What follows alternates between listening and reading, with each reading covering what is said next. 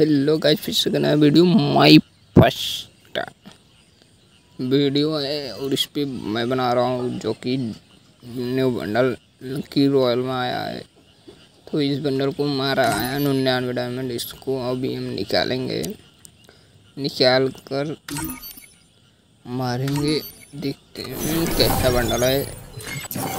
देखो हमारा गाइस हमारा बंडल निकल गया है।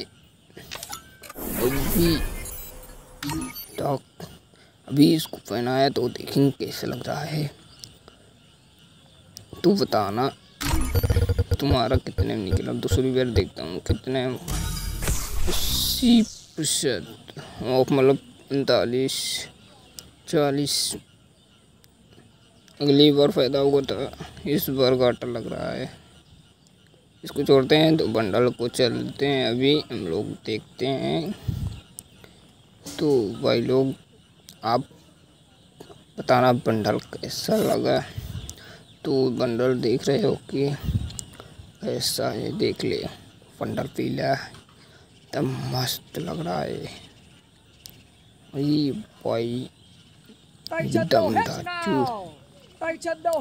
तो अब बताना बंडल कैसा है तुम लोगों को कमेंट करके बताना है। Okay guys